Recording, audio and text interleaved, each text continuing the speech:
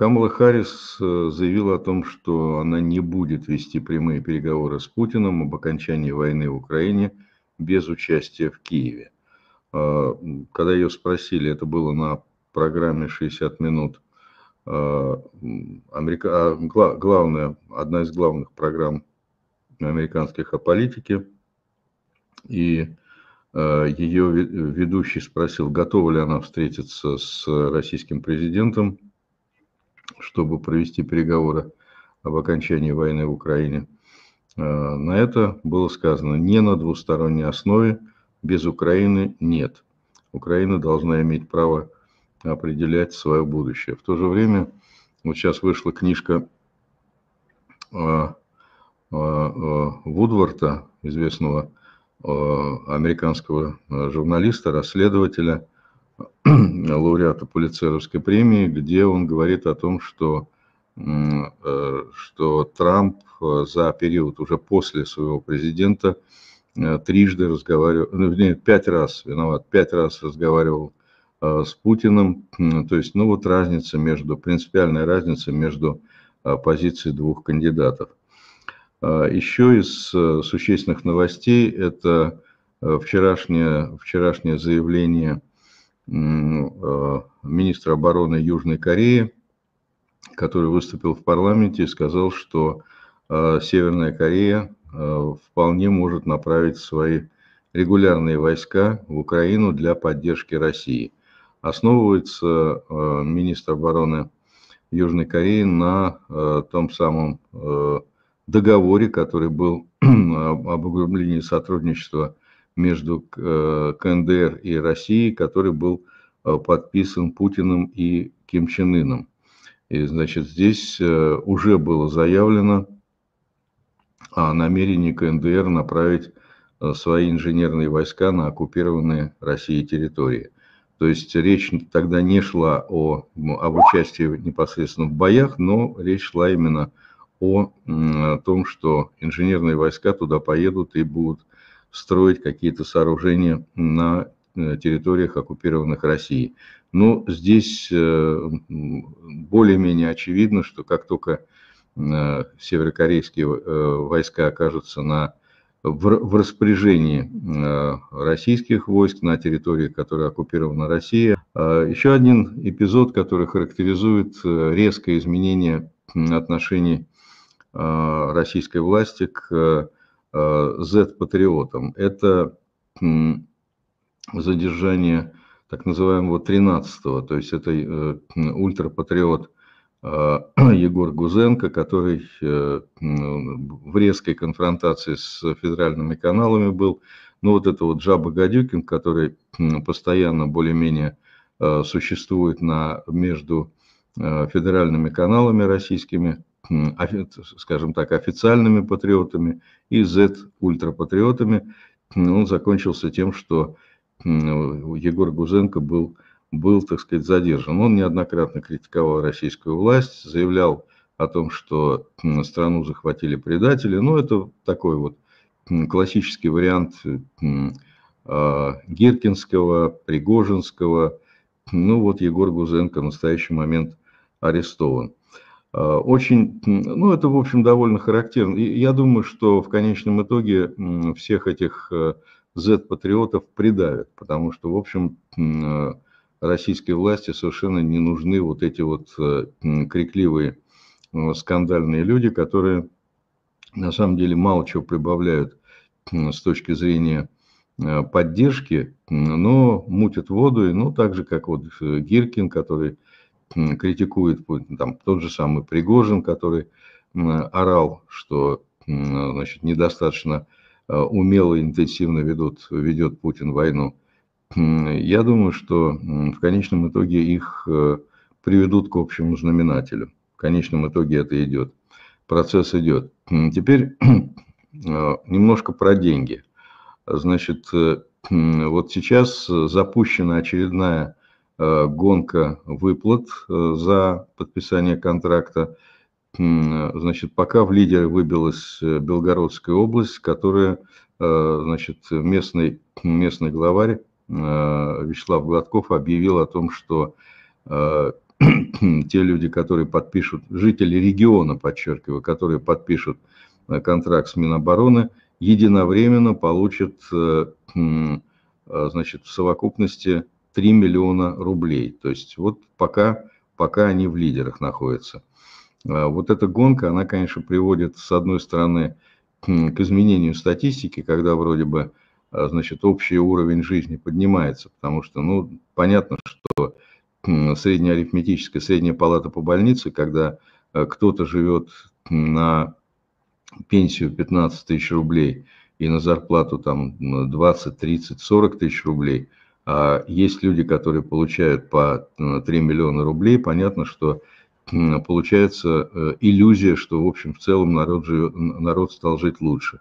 С другой стороны, откуда эти деньги? Понятно, что эти деньги, они явно из э, социального бюджета, поэтому в целом, безусловно, речь пойдет о э, общем снижении уровня жизни. И еще важная вещь, поскольку все эти деньги, они тут же мгновенно окажутся на, э, выброшены на рынок, и они будут разгонять инфляцию. То есть э, более-менее понятно, что в целом вообще вот такого рода гонка, региональная гонка выплат, она, в общем-то, приведет к ухудшению ситуации в стране. Но, тем не менее, она есть. Еще одно соревнование, очень интересное, за которым, так сказать, ну, так, э, с неким равнодушным, немножко равнодушным интересом можно наблюдать, это знаете, как мы хотим всем рекордам наши звонкие дать имена. И вот, э, значит, э, коррупционеры в России, я считаю, что по-прежнему считаю, что коррупционер российский – это один из лучших э, друзей укра... Укра... украинских вооруженных сил Украины, потому что все украденное из бюджета, особенно из бюджета военного, это все, так сказать, не, недополученные снаряды, недополученные ракеты, которые э, не полетят в сторону Украины. Так вот, герои э, этого, этой гонки, значит, вот только что прошла информация, что некий столичный следователь Марат Тамбиев поставил абсолютный рекорд по получению взятки. Это взятка в 7, в 7, в 7 миллиардов 7 миллиардов 300, 300 э, миллионов рублей. Ну, цифра так, с трудом умещающаяся в голове. Основную часть этой суммы он получил биткоин, биткоин поскольку он, этот замечательный человек, он, э, значит, э, взял эту взятку за то, чтобы отмазать от уголовного дела двух хакеров. Ну, вот такой вот замечательный человек. Э, итак, рекорд пока 7 миллиардов 300 миллионов. Э, значит, одновременно не пытается не отставать от него, но пока, пока все-таки отстает, это знаменитый замминистра обороны Тимур Иванов, который получил новое обвинение.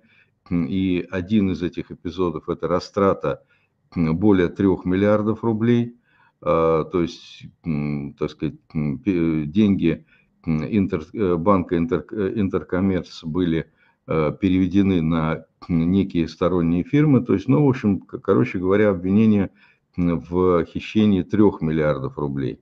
Ну и плюс еще второй эпизод нового обвинения Иванова – это растрата на сумму более 200 миллионов рублей при покупке двух паромов для Керченской, Керченской переправы ну вот, э, так сказать, а, отстает немножко. Знаменитый полковник, полковник э, Дмитрий Захарченко, который был, долго э, держал рекорд, поскольку он украл значит, 1 миллиард 400 миллионов, он уже, насколько я понимаю, на три, опустился на третье место. Вот такая вот интересная гонка происходит в Российской Федерации с интересом следим за ним и в целом, я бы сказал, сочувственно, потому что чем больше они украли, тем меньше, тем меньше, так сказать, у Путина остается денег на войну с Украиной. Поэтому я думаю, что надо учредить. Я вот, ну, в конечном итоге у нас главный по, главный по коррупции – это фонд борьбы с коррупцией. я обращаюсь к руководству Фонда борьбы с коррупцией, чтобы они учредили какой-нибудь приз, ну, не знаю, денежный, вряд ли здесь уместно, но какой-то символический приз лучшему коррупционеру России, который мог бы оказаться действительно лучшим помощником вооруженных сил Украины. Теперь главная тема. Главная тема это как раз связана с несколькими событиями, в частности двумя главными событиями, которые, как мне кажется, связаны между собой и являются а, свидетельством некого серьезного процесса, который происходит в украинском руководстве и в среди э, главных союзников Украины, политического и военного руководства Соединенных Штатов Америки и других стран, которые помогают Украине выстоять в этой войне. Итак, а, культура отмены по-американски и по-украински. Стало известно, что а, Байден не приедет на встречу Рамштайна, а, как официально было объявлено, что причиной этого является ураган, ураган Милтон, который накрывает американское побережье. Э, пресс-секретарь Белого дома, дома Карин Жан-Пьер сообщила о том, что Байден не приедет. Он э, должен был завтра вылететь э, в Германию для участия начала разговора в формате Рамштайн. Он должен был встретиться с главами ФРГ, Британии и, и Франции. Э, этого не будет. То есть завтрашняя встреча не состоится и не состоится личное участие Байдена вот во встрече в формате Рамштайн, где он должен был председательствовать. То есть очень многие, в том числе и ваш покорный слуга, именно поэтому придавали какое-то особое значение вот этой встрече в Рамштайне. Потому что, ну, в общем-то, понятно, что люди, э, если не министры, иностран... не министры обороны, а главы государств встречаются, то ну, чего-то надо ждать. Они же зачем-то должны были туда приехать. Я не знаю, сохранится ли а, участие глав других государств во встрече Рамштайна, но отсутствие Байдена мне представляется это серьезное изменение, это серьезное изменение в целом, ну, скажем так, а, политического значения этой встречи. Э, Рамштайна. То есть, значит, э, ну, э, скажем так, давайте разберемся. Ураган. Значит, там один ураган, последствия другого урагана. Безусловно, Байден – это не Путин, который полностью игнорирует любые стихийные бедствия, любые наводнения, вообще все что угодно, ему наплевать, это понятно. И поэтому желание американского президента быть, что называется, со своим народом, когда этот терпит стихийное бедствие, оно более-менее понятно. Ну, скажем так, у меня, ну, рискну сейчас навлечь на себя гнев э, той части аудитории, которая находится в Соединенных Штатах Америки и являются, как и многие недавно сравнительно переместившиеся российские граждане в Соединенных Штатах Америки э, становятся большими патриотами США, чем сами американцы. Это нормально. Вот, новая родина, значит, благодарность за то, что дала, за то, что приютила, это все понятно. Но в данном случае я позволю себе высказать некоторые сомнения. А, насколько личное участие э, президента Соединенных Штатов Америки, именно личное участие президента США в контроле за процессами, э, так сказать, предотвращения стихийных э, последствий, печальных последствий стихийного бедствия или восстановления разрушенных, разрушенной ураганом инфраструктуры. Насколько здесь личное участие президента Соединенных Штатов Америки критично потому что все-таки, подчеркиваю, США это все-таки не Россия, где, которая в ручном режиме управляется, если Путин что-то не скажет, то ничего делаться не будет. У меня сильное подозрение, что поскольку Соединенные Штаты Америки это действительно соединенные, соединенные объединенные государства, штат это по сути дела государство, и все вопросы, связанные с восстановлением, они и с предотвращением каких-то печальных последствий, они в основном лежат на руководстве штатов. И у меня ну, все-таки сильное подозрение, что личное участие Байдена здесь не критично. А вот его отсутствие на Рамштайне критично, потому что он планировал там встретиться с Зеленским, он там планировал э, в целом председательствовать. Ну и в принципе более-менее понятно, что, так сказать, э, э, затевалось какое-то принятие серьезного решения. Потому что ну, невозможно приехать, было приехать на саммит в Рамштайне и ограничиться какими-то общими словами о поддержке, э, так сказать, и осудить агрессию. Ну, так не бывает. И при, при всей, так сказать, политкорректности, при всей уклончивости, увертливости западных политиков, но собрание, собрание, личное собрание глав государств не могло обойтись без каких-то серьезных решений.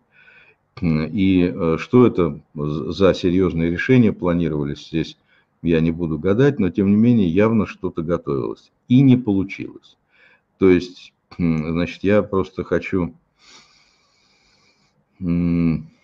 зафиксировать некоторые вещи, которые были перед этим. Почему я считаю, что это действительно срыв, ну, скажем так, я может быть, немножко огрубляю, но все-таки скажу, э, срыв чего-то, что предполагалось провести. То есть отмена чего-то более существенного, чем просто э, физический визит Байдена. Потому что, смотрите, значит, э, вот, ну, что, что говорила Э, что говорила как раз э, пресс-секретарь Белого дома Жан-Пьер буквально накануне э, вот этой отмены визита. Этот визит подчеркнет преданность, поддержку трансатлантической безопасности, говоря об Украине, украинской самообороне. Это будет важной частью визита, продолжение поддержки всех возможных действий, чтобы остановить, остановить украинскую, российскую агрессию. Значит, особо хочу подчеркнуть то, как отреагировал на, так сказать, предполагаемый визит Байдена на Рамштайн президент Зеленский. Вот что он говорит. А, он ожидает, что следующая неделя может стать исторической для обороны Украины. По его словам, на Рамштайне ожидаются важные решения. То есть, э, ну, по крайней мере, ожидали чего-то ожидали чего-то исторического. Ну, скорее всего, ничего этого не произойдет. Скорее всего, о чем-то историческом не договорились. И, ну, скажем так, мне очень не хочется там приводить какие-нибудь саркастические аналогии, но в любом случае здесь явно вот э, какое-то историческое решение, которое должно было быть принято на этом Рамштайне, его не состоялось. То есть не договорились, думают. Явно идет какой-то процесс переосмысления того, что происходит на войне, э, переосмысления того, как э, должна закончиться война. И еще одним э, доказательством этого является отказ Украины от проведения в ноябре второго саммита мира. Об этом было, было заявлено только недавно. Советница главы Офиса президента Украины э, Дарья Заривна сообщила о том, что в ноябре саммит, второй саммит мира не состоится. Объяснила э, тем, что к ноябрю э, будут закончены все мероприятия, которые необходимы для проведения форума, но второй форум мира не состоится. То есть Значит, э, к этому э, событию, к отмене вот этого саммита мира приурочена еще и довольно такая спорная статья Блумберга, в которой говорится о том, что э, Владимир Зеленский готов обсуждать условия переговоров с Россией и закончить, закончить войну. То есть, ну, понятно, не, не очень понятно, так сказать, на чем основываются источники Блумберга, но, по крайней мере, такая информация не первый, не второй, не третий раз появляется. Значит, по словам, опять-таки, источников э, в офисе президента Украины, опять это ссылка на Блумберг, значит, э, план победы, который был предложен Зеленским э, в Соединенных Штатах Америки, встретил прохладный прием в Вашингтоне. И то, что на самом деле в Соединенных Штатах Америки политическое и военное руководство а, попросило Зеленского значит, а, а, сформулировать дорожную карту конкретную того, что ему нужно на следующий год. И, в общем, видимо, не, оказались, они оказались неудовлетворенными тем, что то, что было предложено. То есть не конкретно по... Ну, опять-таки, это источники Блумберга, я здесь только транслирую. То есть, короче говоря, есть у меня некоторое предположение, которым я с вами делюсь и которое я заложил в опрос для того, чтобы сверить с вами часы. Есть ощущение, что нечто предполагаемое на конец этого года, многочисленные разговоры о том, что в конце этого года война будет завершена, горячая фаза, по крайней мере, и в этой связи предполагались какие-то решения, предполагались, э, так сказать, какие-то решительные меры, направленные на завершение войны, видимо, это не состоится. То есть, по крайней мере, а, а, так сказать, другие причины, которые как-то объясняют, почему почему Байден не едет на Рамштайн, другие причины, которые объясняют, почему в ноябре не состоится а, второй саммит мира, мне они кажутся неубедительными. Потому что, ну, ураган, да, ну, ну что, что Байден свой, с, физически своим телом остановит ураган? Конечно, нет. Значит, э, э, что, а, отсутствие отсутствие каких-то слов, которые должны были произнести на втором саммите мира, как, э, поскольку там э, ссылаются на то, что идут конференции подготовительные, ну, опять-таки, тоже достаточно неубедительно. То есть очевидно, что что-то идет не так. Что именно, я думаю, что мы узнаем в ближайшее время. Во всяком случае, вот так, такое у меня сложилось ощущение по итогам вот этой вот, э, ну скажем так, дня отмены, который произошел в Украине и в Соединенных Штатах Америки. Я задавал вопрос вам, дорогие друзья, за 10 минут, э, э, прошедшие после опубликования опроса, поступило 434 голоса, 434 участника опроса, и вот давайте посмотрим, э, какие результаты. Является ли отмена визита Байдена на саммит Рамштайна и отмена Зеленским второго саммита мира частью одного процесса переосмысления руководством Украины и ее союзников хода войны и перспектив его завершения? Да, является 57%, не, нет, не является 25%, затруднились ответить значит, 18%. Ну, э, скажем так, я посмотрел э, сейчас, какая ситуация по опросу. Ну, примерно, примерно такая же, немножко колеблется. Я уже, вчера мы с вами говорили о том, что даже если вот сейчас 434 участника опроса, если, ну, я думаю, что через несколько дней, если мы посмотрим, то мы увидим, что в опросе примут участие Э, ну, в среднем порядка 20 тысяч принимают участие в вопросе люди, которым это интересно, которые хотят сверить часы э, с, с нами, со всеми. И здесь э, ну, ситуация, как правило, если меняется, то на 1-2% в ту или иную сторону. Значит, я по-прежнему считаю, что участие в вопросе не ограничивается вот, моментом публикации, потому что желание сверить свои часы с значит, свое представление о том, как обстоит дело по тем или иным вопросам, с коллегами, с ну, практически единомышленниками, это полезное дело. Так что продолжайте участвовать в опросах. Мне кажется, я прекрасно понимаю, что эти опросы – это не опросы общественного мнения в России или где бы то ни было еще. Но понять, что думают единомышленники, ну, в целом политические единомышленники, это, мне кажется, полезное, полезное дело. Э, ну, так, это часть вот этого совместного думания.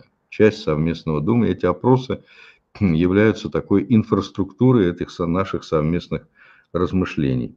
Поэтому будем их продолжать. Э, перехожу к э, ответам на ваши вопросы. Виктория вот такой вопрос задает. Опять мы возвращаемся к вопросам, на которые Игорь Александрович, кажется, еще не ответил. Почему получилось так, что в североатлантической цивилизации жизнь каждого отдельного человека настолько ценнее, чем в остальном мире? Кстати, не думаю, пишет Виктория, что его ответ будет бесспорным и всеми принятым, но мнение его знать интересно, очень. А, ну, уважаемая Виктория, конечно, поскольку наша аудитория, наша аудитория нашего с вами канала, и мы все, и вы в частности, а, люди с критическим складом ума, поэтому все, что я говорю, воспринимается критически. И это, и это то, что чего я, собственно говоря, и добивался, создавая этот канал и называя главной целью этого канала вместе думать. Вот поэтому, когда ты вместе думаешь, то, естественно, возникают разногласия, и это нормально. Другой вопрос, что э, характер дискуссии для того, чтобы вместе думать, это не, не значит э, бить друг друга в споре по голове канделябром. Это мешает совместному думанию.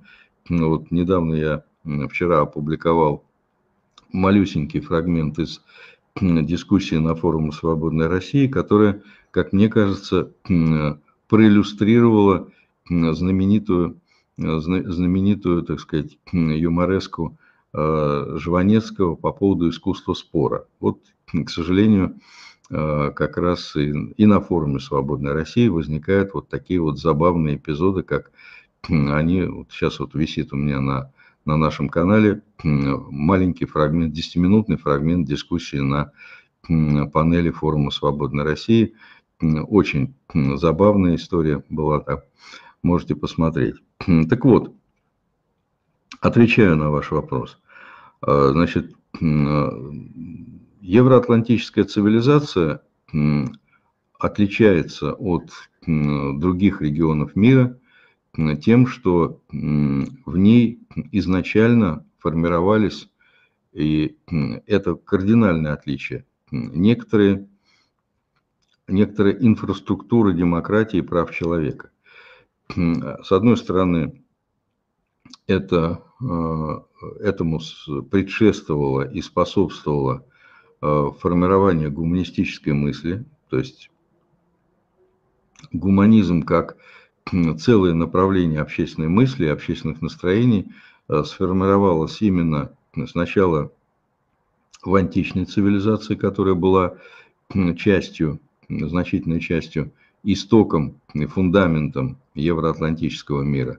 С другой стороны, это Э, так сказать, христианство, которое э, проповедовало гуманизм как одна, ну, то есть гуманизм, я сейчас не говорю о практике христианства, которая была зачастую античеловеческой, я говорю об идее христианства, это, это любовь, это милосердие, это как раз, э, так сказать, то самое, в отличие, скажем, от значит, а, античных религий Древней Греции, Древнего Рима, в котором, в общем-то, места гуманизму не было. А здесь как раз э, в основе э, христианства была любовь, любовь к человеку. То есть здесь, то, итак, античность, античная мысль, гуманизм в античной мысли, христианская религия, ну и, наконец, просвещение, которое сформировало новый этап гуманизма. То есть сначала я бы начал с того, что в общественной мысли евроатлантической цивилизации гуманизм, ценность человеческой жизни заложена достаточно серьезно. Это раз. Второе. Инфраструктура. Инфраструктура гуманизма, которая заключается в том, что ценность человеческой жизни, она, э, так сказать, защищается разделением властей, когда ни одна из властей, то есть э, что препятствует ценности человеческого жизни, жизни в, так сказать, неевропейских цивилизациях. Это диктаторский характер власти, возможность власти делать все, что угодно с человеком. А здесь нет этого, здесь есть защита, разделение властей, независимость судебной власти, свободная пресса и так далее. То есть, ну вот если коротко, то две вещи. Это общественная мысль, которая в странах евроатлантической цивилизации была в основном гуманистической. И второе – это инфраструктура э, прав человека, которая, по сути дела, представляет собой вот комплексную такую э, инфраструктуру демократии, которая защищает человека. Ну вот если... Я понимаю, что я ничего, ничего нового не сказал, но мне представляется, что ну, это достаточно очевидные вещи. И мне кажется, именно поэтому ценность человеческой жизни в евроатлантической цивилизации на, намного выше. Хотя и в других странах мира э, идет все-таки в значительной степени, ну, скажем так, перенимание вот этих вот э, основ гуманизма, которые, которые заложены в евроатлантической цивилизации. Вопрос Владимира Викторовича. Недавно во время посиделок в русской глубинке разгорелся жалкий, жаркий спор о том, что такое патриотизм и что такое Родина. Мнения по поводу патриотизма высказывались разные. Отсылок на Толстого, который говорил о патриотизме как средстве управления людьми и заключал, что патриотизм есть рабство. И упоминание знаменитого выражения, которому более 150 лет, о том, что патриотизм – это последнее прибежище негодяев, до наиболее популярного россиян определения, что патриотизм – это любовь к родине. И вопрос, который Э, задает э, Владимир Викторович, что, по вашему мнению, патриотизм в современном мире и чем он должен проявляться применительно к гражданам России, по крайней, по крайней мере, к тем из них, кто находится на правильной стороне истории. Ну, попутные вопросы, что такое Родина, как можно любить, любить Родину, которая повинна во множестве преступлений против своего, э, своего и других народов. Ну, сначала я хочу процитировать Э, то, что вам э, Владимир Викторович написали в комментариях, а написала Мирабелла. Ну, можно, я цитирую ее, ее ответ, ну, можно просто прочесть слова Михаила Жванецкого. Патриотизм – это четкое, ясное, хорошо аргументированное объяснение того, что мы должны жить хуже других. По-моему, вполне убедительно. Ну, а теперь мой ответ. Понимаете, я согласен с, со всем сказанным, со всеми цитатами и Толстого, и Жванецкого, и других, другие знаменитые цитаты. Но мое убеждение заключается в том, что а, патриотизм в демократических странах и в тоталитарных странах – это принципиально разные явления. А, почему? Потому что в демократических странах, где граждане а, формируют власть и влияют на ситуацию в своей стране, вполне возможно, патриотизм это действительно... Ну, слушайте, когда в Израиле люди идут умирать за свою родину, они идут умирать за ту страну, которая обеспечивает им нормальную жизнь которые они... То есть, понимаете, я, скажем так, скажу э, ну, фразу, которая мне кажется ключевой в оценке патриотизма. Э, вы знаете, любовь к родине должна быть взаимной. Вот любовь к родине должна быть взаимной. И э, это принципиальное различие между патриотизмом в демократических странах и в тоталитарных. Значит, в демократ... когда украинцы идут защищать свою страну, то они понимают, что они... Я понимаю всю сложность сейчас, все, что сейчас происходит, но тем не менее они защищают ту страну, которая, в принципе, создает им какое-то условие для жизни. Когда в Израиле идут в армию и гордятся этим, и защищают свою страну, они защищают ту страну, которая их любит. Вот э, Израиль любит своих граждан. Извините за такое публицистическое определение, но я готов э, вот эту публицистику доказать научно. Понимаете? То есть, да, это, это пафос, но тем не менее э, под этим пафосом скрывается громадная глыба логоса. И Израиль любит свою, любит свою, своих граждан. Вот, поэтому патриотизм в Израиле принципиально отличается от патриотизма в России. А в тоталитарных диктаторских режимах, таких как Россия, Северная Корея, э, патриотизм – это извращение. Потому что любовь э, к Российской Федерации, которая ненавидит своих граждан, которая их посылает на убой непонятно за что, которая свой бюджет делает бюджетом смерти. Это, извра... это мазохизм, это извращение. И поэтому, когда немецкие патриоты э, э, выступали за поражение своей страны и воевали со своей страной, которая называлась тогда Третьим Рейхом, то это было проявление патриотизма в том смысле, что они хотели, чтобы это, вот эта вот не родина, чтобы она умерла. И на ее месте появилось что-то более-менее нормальное. Ну вот Примерно так я это вижу. То есть, опять-таки, патриотизм в тоталитарных и в демократических странах принципиально отличается. Отличается тем, что в конечном итоге, э, да, патриотизм, любовь к своему отечеству. Я сейчас не беру разницу между отечеством и его превосходительством, потому что на самом деле в настоящий момент э, э, невозможно разделить опять все разговоры о том, что можно любить Российскую Федерацию, но не любить путинский режим. Не получается. Не получается, потому что сегодня Российская Федерация – это страна, которая воюет и которая ненавидит своих граждан. Любовь к родине должна быть взаимной. Тогда это нормально. А иначе это мазохизм. Вот все, что я по этому поводу хочу сказать. А, Алексей Алексеевич, во вчерашнем вашем интервью другому каналу резанула фраза представителя творческой интеллигенции, поддерживающей войну. Разве это не взаимоисключающие понятия интеллигенция и война? Уважаемый Алексей Алексеевич, я думаю, что можно, конечно, долго воевать э, на лингвистическом фронте, пытаясь выяснить, что же такое интеллигенция. Я все-таки и, понимаете, э, сакрализация этого слова, э, нагружение его огромным количеством э, позитивных, позитивных признаков, позитивных коннотаций и превращение э, значит, интеллигенции, ну, скажем так, ограничение круга который, людей, которые описывают это понятие, ну, там, условно говоря, Андреем Андреевичем Сахаровым – Ковалевым, там, Скобовым.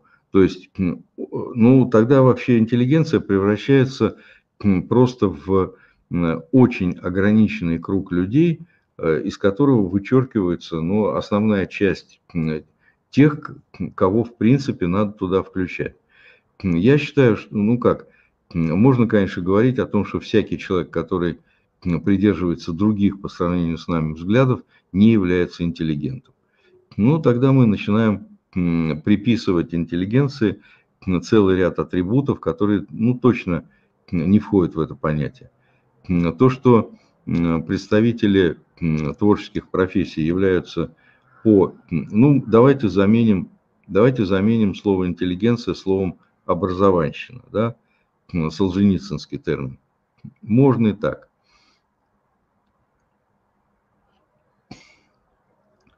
Но мне представляется, все-таки это излишне. Я считаю, что да, действительно, как, то есть, понимаете, получается так, что вот жила-была творческая интеллигенция, потом вдруг она стала поддерживать войну, и тут же ее надо выписывать, вычеркивать из понятия интеллигенции. Ну, наверное, это излишне. Наверное, это, это как бы а, задним числом подведение а, изменения содержания понятия под, э, в силу конъюнктуры. Поэтому я думаю, что да, действительно, творческая интеллигенция, часть, значительная часть творческой интеллигенции поддержала войну. К сожалению, это так. Я от этой, от этих слов не отказываюсь. Лина. Э, послушала сегодня вашу беседу с Лариной Курвангалеевой.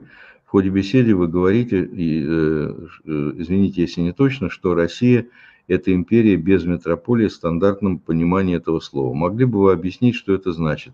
И почему Москва не метрополия? Значит, э, это часть моих размышлений на канале Ксении Лариной э, и на канале э, Фариды Курбангалеевой было посвящено особенностям Российской империи. Она действительно отличается кардинально от тех классических империй, таких как Римская империя, у которой, в общем, более-менее четко отличалась метрополия от колоний, от таких империй, как британская, там, французская, испанская, португальская, у которой вообще колонии были заокеанскими, то есть они, э, была четкая локализация. Вот метрополия, и вот значит, где-то за океаном колония. В Индии, в Африке, еще где-то и так далее. То есть это в России нет такого. Где метрополия? Что такое метрополия? Скажем так, сказать, что колонией являлась Сибирь, а европейская часть является метрополией, абсурдно, потому что на самом деле и в европейской части значительная часть этой, этой территории была колонизирована. Та же самая Э, то же самое Казанское ханство, Астраханское ханство, которое было явно были превращены, колонизированы, э, они находятся в европейской части. Не получается. Вот Москва. Москва как метрополия. Ну, скажите мне, пожалуйста, да, Москва действительно, так сказать, именно как регион э, высасывает из, высасывает из Э, значит, из остальной части России соки, но тем не менее Москва тоже э, фактически колонизирована, потому что, э, ну, понимаете, вот ситуация, когда во главе Москвы становится Собянин, человек абсолютно чуждый Москве, человек, который не, не, не любит, не понимает Москву. То есть это тоже колонизация. Поэтому я думаю, что и я убежден в том, что на самом деле значит, э, метрополией является политическая власть. Кремль, Старая площадь и так далее. Не существует, особенность вот этой российской сухопутной империи заключается в том, что в ней не существует а, географически локализованной части, метро, которую можно назвать метрополией. Именно Скажите, что москвичи каким-то образом участвуют в принятии решений в отношении регионов? Нет, конечно. Конечно, нет. То есть, э, на самом деле, э, в условиях российской, России и э, имперской, императорской России, Советского Союза, в условиях постсоветской России метрополией является федеральная власть. Ну, такая вот своеобразная империя. Такая своеобразная империя. И э, у нее много особенностей. Одна из особенностей заключается в том, что колонии э, в целом э, во многом являются убыточными для Российской империи. Это было и в XIX веке, и это и сегодня тоже. Вот сегодня, э, превращая в колонии новые э, регионы, которые оккупированы и аннексированы э, у Украины. Россия вкладывает в бюджете гигантские деньги, там свыше триллиона рублей заложено на финансирование этих новых регионов. То есть оккупация украинских земель не дает положительного баланса. Там, да, ну, э, крадут э, украинскую пшеницу, это правда, но это не покрывает тех гигантских расходов на поддержание вот этих новых колонизированных территорий. То есть колонизация России невыгодна. Вот что. Она является средством удовлетворения имперских амбиций. То есть империя как самоцель. В отличие, скажем, от всех других империй, которые были в прошлом, в недавнем прошлом. То есть Британская империя, э, она существовала как э, серьезный коммерческий экономический проект. А э, Российская империя таковым не являлась. Просто не, по факту не являлась. Россия захватывала гигантские куски, которые она не могла переварить. Россия до сих пор не переварила Сибирь. Ну вот был один единственный акт разумности, когда Россия захватила, колонизировала Аляску, ну, этим гигантским куском она подавилась, и она от нее отказалась. Продала Аляску. Вот, то есть, но точно такая же ситуация с Сибирью. Она, Сибирь не переварена. Россия до сих пор не может освоить Сибирь. Проглоченное, оно так и остается внутри, внутри Российской империи непереваренным куском. А, Любовь Маркова. А, Александр, мне, увы, не повезло, и мои теперь бывшие друзья, самые печальные родственники, все против Украины. А, все поддерживают Россию. Это моя личная трагедия, рву связи, учусь жить в одиночестве. Но вот дочь назвала меня одержимой из-за моей очень четкой и ясной позиции по Украине. И я задумалась, что такое одержимость вообще? Если я имею свое мнение, и оно неизменно, если я достаточно эмоционально его озвучиваю – если об этом заходит речь ну, в чем-то присутствии, если я всей душой желаю победы Украины, и как и многие сейчас жду скорого избавления планеты от главного мирового зла Путина, если я, как и многие сейчас, вижу ежедневные ну, новости о новых трагедиях в Украине. И достаточно эмоционально переживаю, я одержимая, спрашивает Любовь Маркова, а, Значит, любой, кто всей душой болеет сейчас за скорое освобождение Украины и читает и пишет сам на эти темы одержимый, самое печальное и смешное одновременно, пишет Любовь Маркова, что если прочесть медицинское определение одержимости, то, то таки да. Одним из характеристик одержимости является постоянный интерес к чему-то, сильная эмоциональная вовлеченность и так далее. Так можно ли меня назвать одержимой, если все так, как я сейчас описала или нет. Уважаемая Любовь Маркова, а, значит, в понятии одержимости есть несколько аспектов. А, фактически они настолько различны, что их можно считать амонимами. То есть одно слово означает совершенно разные вещи. Есть медицинский аспект. То есть э, одержимость является медицинск, в медицинском смысле является одним из признаков э, психического отклонения. Шизофрения, там э, это может быть маниакально-депрессивный психоз и так далее. То есть это медицинский психиатрический термин. Есть религиозный аспект когда одержимыми признаются люди, по мнению сторонников той или иной религии, одержимыми бесами.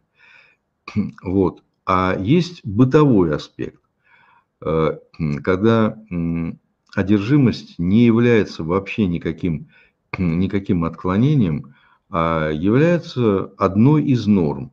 Ну, например, человек одержим работой.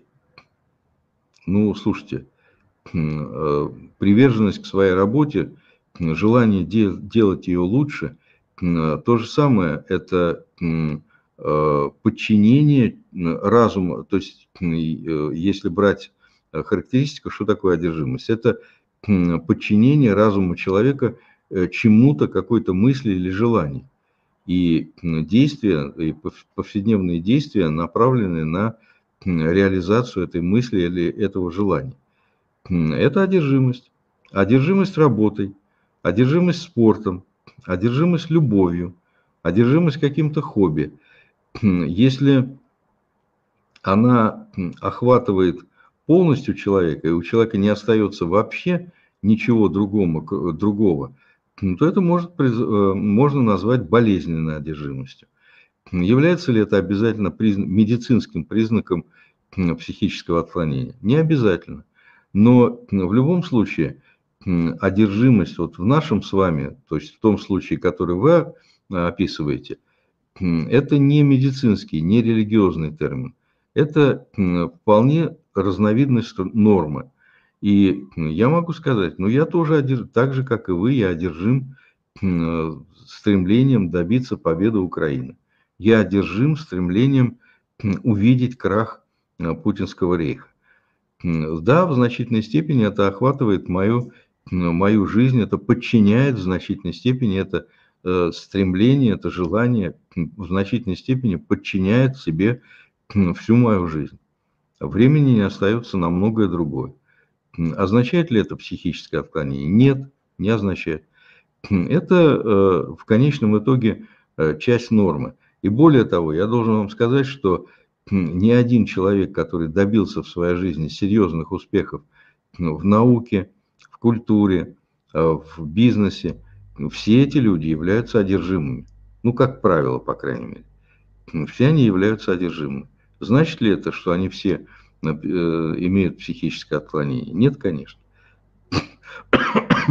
Так что, уважаемая Любовь Маркова, вы абсолютно нормальный человек, а дочь ваша, которая так, э, так э, вас характеризует, ну, она, не буду про нее ничего не говорить, говорить, она ваша дочь, ну, просто объясните ей, что такое одержимость в медицинском плане, что такое одержимость как часть нормальности. Понимаете? А, вопрос от а, пана Степана. И да, а, на прошедшем 13-м форуме было сказано, что нынешние скандалы в оппозиции – это вполне вероятно операция ФСБ. Мне тоже так кажется, но не думаете ли вы, что это может стать и неким очищением для российского сопротивления? а именно при уменьшении роли пострадавших от грязных бомб ПВК и группы Ходорковского на первое место выступает не пострадавшая от них часть сопротивления – Форум Свободной России. Правда, это не политическая партия, а лишь место сбора для различных представителей сопротивления, не входящих в первые две группы. Но это весьма заметно и достаточно многочисленные его представители. Может быть, стоит подумать и о преобразовании форума в некое движение – способные на какие-то активные действия, помимо благотворительности, как сейчас. И тут же второй вопрос. Почему на форуме не было Владимира Карамузы и был ли он приглашен? Ну, я ну, сначала отвечу на второй вопрос, он очень простой. Я не вхожу в руководство форума. Я то, что меня приглашают на него постоянно, ну, это воля, воля руководства. Приглашают, прихожу, когда могу. Вот, значит, что касается, поэтому я не могу точно сказать, вот, стопроцентно, но зная в целом ситуацию, я абсолютно убежден в том, что Владимир Карамурза был приглашен. Почему не приехал? Ну, скажем так, я не хочу делиться какими-то домыслами. Не приехал, потому что потому что был, наверное, занят другими делами. Точка. Но был приглашен, я в этом абсолютно уверен. Я уверен, что приглашали Карамурзу, это вот сто процентов. Думаю, что приглашали и Пивоварова, и Яшина. Ну, каждый из них нашел более важные для себя дела, на что имеет полное право. Теперь маленькая ремарка насчет вашей подводки к вопросу. Это то, что значит, я не считаю, что Э, так сказать, вот здесь, э, так сказать, очищение какой-то вот, скажем, э, команды Ходорковского Понимаете, грязная бомба, которая брошена в Ходорковского, она на самом деле настолько очевидно пролетела мимо цели, что мне кажется, что никакого серьезного ущерба Ходорковский, а тем более его... Я не понимаю, что такое команда. Антивоенный форум, который фактически возглавляет Ходорковский, это большая команда из разных людей. Я думаю, что там а, пострада... Э, они не пострадали от этой бомбы. Поэтому здесь вот у меня не вполне полное совпадение с вами в части подводки. Теперь, что касается главного вопроса. Превращение а, форума «Свободной России» в движение. Опять-таки, я не вхожу в руководство форума «Свободной России», э, но думаю, что, э, по крайней мере, в обозримый период такого, э, такого действия не последует. Почему? Чем принципиально движение отличается вот от той площадки, которую представляет собой форум? Это превращение в движение означает не просто действия, которые совершает форум, а форум совершает действия. Это поддержка вот этих вот э, Легиона Свободной России и других добровольческих российских объединений, которые воюют. Э, это различные движения, которые, э, так сказать, совершают отдельные участники форума и проекты. А вот если это превращается в движение, то тогда нужно как бы мобилизовать на какие-то акции своих сторонников. Либо вводить членство, э, либо еще что-то. И это совершенно другая, другая, так сказать, практика, э, на которую явно э, организаторы форума не готовы. Ну вот явно не готовы. Потому что я думаю, что сегодня и организаторы форума, и я тоже – и мы не очень понимаем, какие конкретно, какие, каков потенциал действия э, людей, которые могли бы стать частью этого движения. То есть делать-то что? Ведь если, ты, если движение, надо куда-то двигаться. Надо объединять людей для того, чтобы что-то делать. А что делать? Понимаете? Вот на сегодняшний момент то, что э, форум делает, э, для этого не нужно движение. Для этого нужно просто так сказать, головы участников и конкретные, кон конкретные действия, которыми мог, которые могут совершать сами участники форума. А вот какое-то количество сторонников еще мобилизовывать на что-то. На что? Внутри России ни на что мобилизовывать ни один ответственный человек не будет, потому что любое действие внутри России – это тюрьма. И призывать делать что-то, что приведет к тюрьме, конечно, это безответственно. А что же касается, а, так сказать, политической миграции, то для того, чтобы создавать движение, нужна ясная программа действия этого движения. На что мобилизовываются сторонники. Что делает конкретно Каспаров, конкретно там, э, так сказать, Тютрин или конкретно другие люди, которые входят в форум «Свободной России», это понятно. А вот что делать сторонникам? На что мобилизовывать сторонников? Я, например, не очень уверен в том, что есть ясное понимание и у меня, и у других участников форума. Поэтому я думаю, что это сейчас не актуально. Людмила Котова спрашивает, как вы относитесь к негативным высказываниям о вас Елены Васильевой?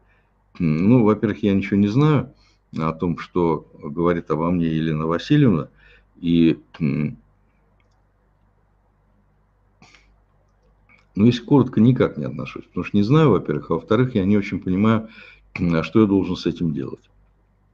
Ну, негативно.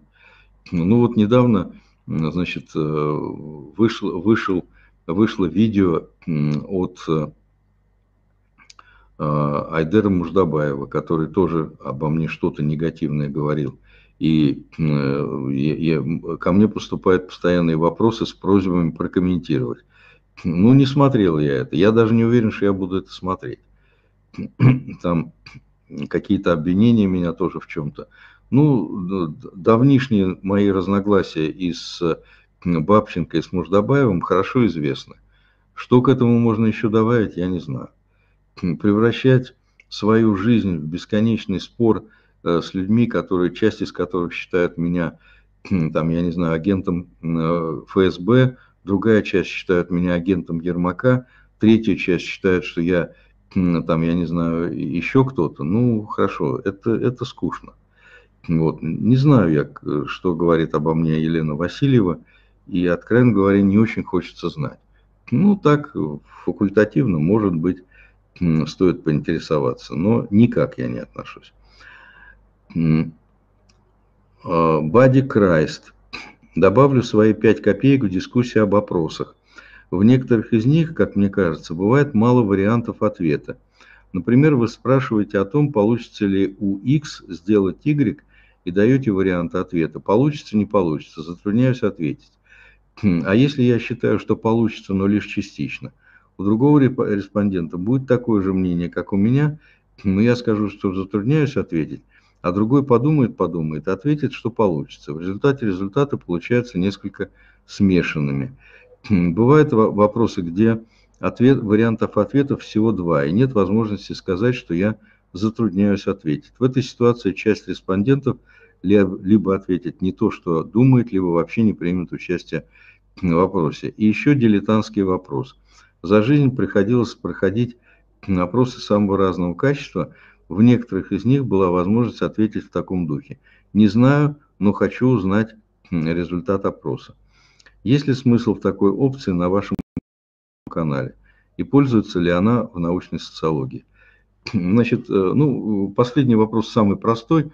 Она, этот э, вопрос не имеет отношения, такой вариант ответа не имеет отношения к опросной социологии, потому что если на самом деле есть ответ не, не знаю, то есть затрудняюсь ответить, а дальше уже отдельная такая опция «хочу узнать э, результат опроса», это ну, это, э, это может использоваться в медийных опросах, но это, так сказать, не очень, не, не, не очень, э, не, не может являться частью, э, так сказать, научно обоснованной шкалы.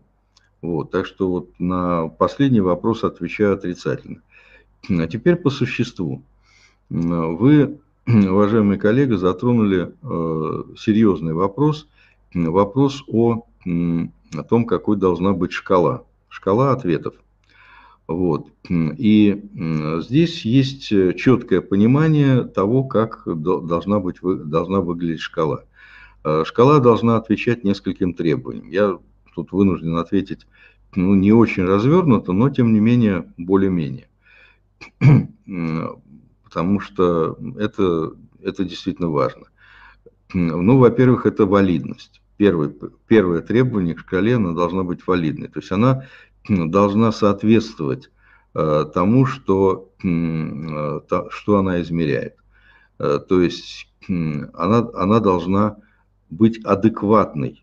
То есть если вы, например, задаете вопрос какой-то, и сами варианты ответа они находятся совершенно в другой, в другом измерении, то это, это означает невалидную шкалу. Значит, дальше.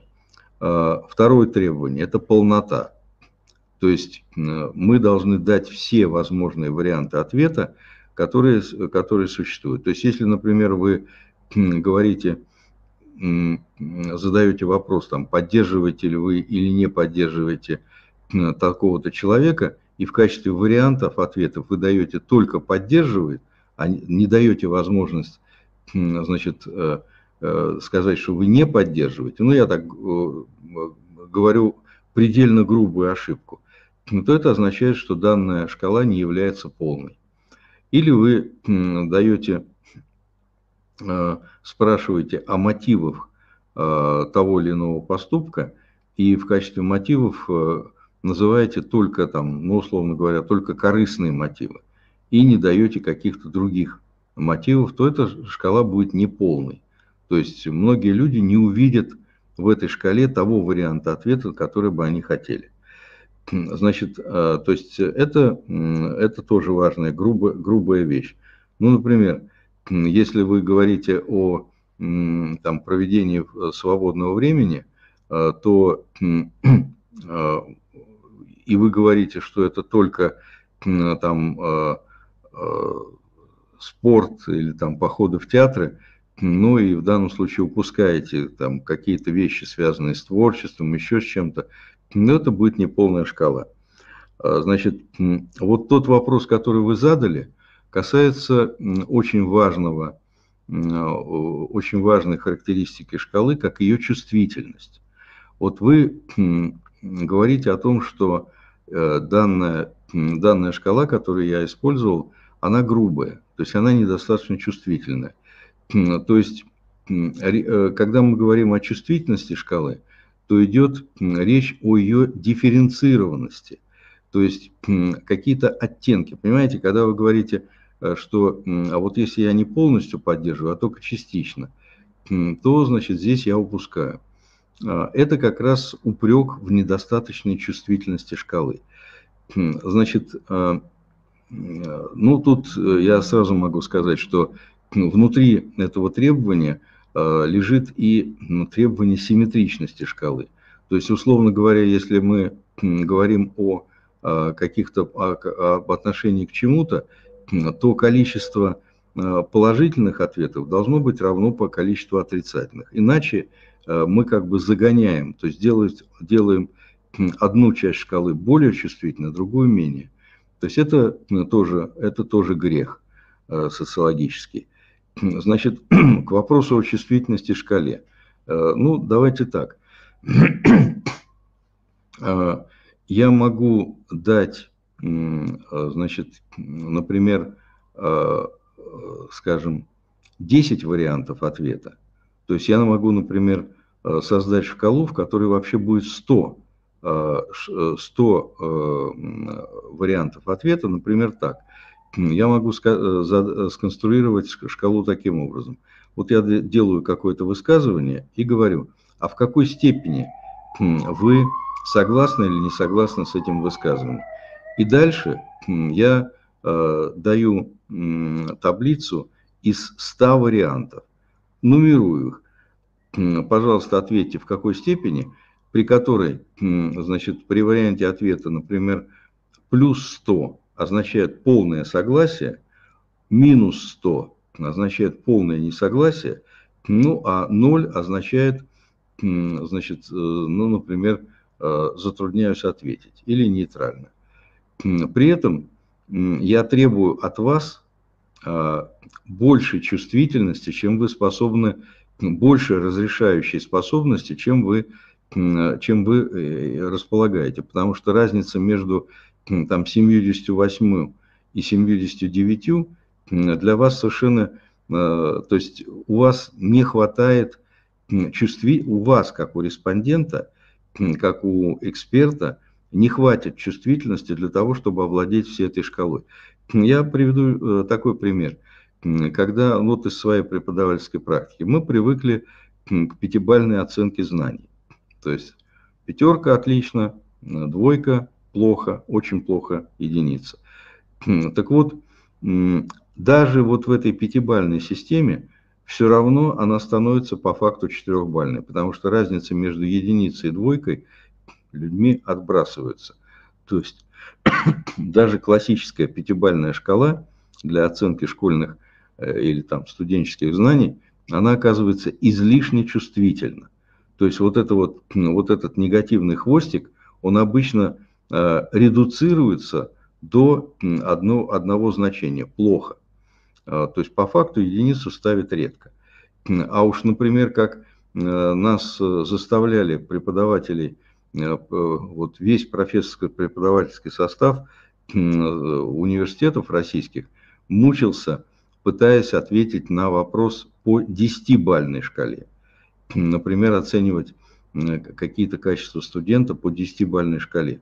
И вот разница между семью и восьмью, она, а, ну, мы оказываемся недостаточно чувствительными. Когда у тебя сидит 100 студентов перед тобой, И ты должен каждого оценить по, 5, по 10-бальной шкале. По 5-бальной шкале и то трудно. Ну, потому что обычно нам, нам хватает более грубой шкалы. Например, э, опять-таки, в лучшем случае 4-бальной. То есть, как правило, шкалы бывают э, либо трехбальные, либо, либо пятибальные. То есть, э, но в данном случае я пытаюсь оценить вашу экспертную чувствительность, насколько вы, как эксперт, в состоянии, в состоянии дать, так сказать, более тонкое различие между полной поддержкой или частичной поддержкой. В чем преимущество э, пятибальной шкалы? Когда дается там полностью согласен, частично согла... более согласен, чем не согласен, и, значит, э, там более не согласен или полностью не согласен. Э, преимущество, безусловно, в возможности вам, вас точно определить свое место на этой шкале. Но, с другой стороны, чуть сложнее интерпретация. То есть более грубая шкала, э, такая двоичная, да или нет, она позволяет четче определить э, отношения. Ну, есть еще масса других характеристик шкалы, таких как точность, надежность э, и так далее. Я, знаете что, вот для того, чтобы нам как бы вот эти социологические вещи с вами, ну, примерно в одинаковом, с одинаковым уровнем знаний оценивать, я э, очень рекомендую тем людям, которые интересуются эмпирической социологией, составлением вот такого рода опросов, порекомендовать то старинное издание, которым я, например, начинал, когда я начинал преподавать и когда я сам начинал работать э, именно как социолог, я начал пользоваться и до сих пор считаю лучшим, лучшей книжкой, э, которая описывает вот такого рода, такого рода исследования. Это Пол Лазерсфелд, классик этого, этого, так сказать, научного направления. Его книжка «Измерение социологии». Она была, это, это большая статья в сборнике «Американская социология. Перспективы, проблемы и метода. Она у меня была все время настольной, потому что я постоянно обращался к ней, когда и лекции читал по социологии, и э, проводил исследования. Пол Лазерсфелд. Я пользовался изданием э, старинным на русском языке. Эта книжка вышла э, в 1972 году. Ну, наверное, она переиздавалась, но этого я уже не знаю. Очень хорошая такая добротная книжка. На мой взгляд, она э, ну, одна из лучших из, из того, что издавалось на э, русском языке. Никодим Панфутич. Игорь Александрович, хочу задать вопрос, который из-за кажущейся мне нелогичности просто выводит меня из себя. Понимаете, все известные мне украинские блогеры, Цымбалюк, Березовец, Золкин, Золкин Карпенко – считает, что лучший вариант – это чтобы Россия ушла со всей территории Украины и выплатила репарации. Но когда сравниваешь межгосударственные материи с бытовыми, это становится странным. Например, идти воевать за ООО «Россия» против ООО «Украина» просто глупо. Чем в сущности РФ отличается от ООО «Россия»? Размерами – и вот когда я сравниваю поиски убийцы, то вначале его нужно найти и схватить, судить, наказать, уничтожить для общей безопасности. И уж только потом отобрать у него украденное и оштрафовать. Когда ищут террориста, то все то же самое. Но когда речь идет о Путине, его генералах, депутатах, сенаторов, которые непосредственно виновны во всех жертвах, трагедиях, пытках, массовых и ужасных убийствах и разрушениях, то просто уйдите и заплатите – Мало того, если схватить, судить, наказать, уничтожить Путю и Ко, э, так и война закончится. То есть почему преступника подменяют неким государством, фактически снимая с них вину? Если президент ООО «Россия» преступник, то почему не наказывают преступников, а только каких-то малопонятных малопричастных в Курской или Белгородской области, например. О каких территориях вообще идет речь, если на свободе бродит убийца и террорист? Грубо говоря, если убили мою двоюродную сестру, украли ее квартиру, то я хочу, чтобы убийца был осужден или убит, а с квартирой можно разобраться и позже. А, уважаемый коллега, я думаю, что ваш, э, ваш упрек в нелогичности украинских блогеров, журналистов, мне кажется, не очень оправдан, не очень обоснован. Вот почему. Потому что, э, значит, Украина публично обозначает свое требование именно по отношению к государству к России, которая должна уйти с украинских территорий, ну и дальше выплыть. Но там я хочу обратить внимание, что через запятую одно из требований Украины, а, и то требование, которое полностью поддержано ее союзниками, это требование наказания преступности, преступников. То есть, понимаете, опять-таки, последовательность событий. Э, до тех пор, пока э, Россия не ушла с территории Украины, до тех пор, пока вооруженные силы э, оккупантов не разгромлены, в качестве главного требования найти, наказать преступника Путина, ну, это выглядит нелепо. Но сначала надо разгромить армию России, сначала надо добиться ее поражения в войне, именно России. И только тогда можно перейти уже к той части, которая тоже э, формулируется в плане, э, в программе э, украинских журналистов, украинских политиков. Обратите внимание, там всегда через запятую идет требование наказать военных преступников. А кто главный военный преступник? Путин. Поэтому здесь нет противоречия между вашими, вашей идеей схватить и наказать военного преступника, и идеи украинских блогеров. Вы просто искусственно вот эту запятую не заметили, потому что она обязательно существует. Обязательно, но только последовательность. Э, у вас последовательность такая. Сначала надо найти и наказать Путина, а потом уже освобождать территорию. А это невозможно. Потому что до тех пор, пока Путин защищен всей мощью российской армии, которая, обращаю ваше внимание, пока еще наступает. И поэтому каким образом наказать Путина? Выкрасть его? Ну, это отдельная история, отдельная спецоперация, на которую никто пока не готов. Поэтому, и более того, я еще раз подчеркиваю, вы не заметили запятую, которая всегда стоит у, у украинцев, да что, при чем тут украинцы? И у меня тоже. Я в этом смысле ничем не отличаюсь подчеркиваю, в этом смысле, ничем не отличаюсь от э, Цимбалю, э, и других украинских блогеров. Ровно это же я говорю.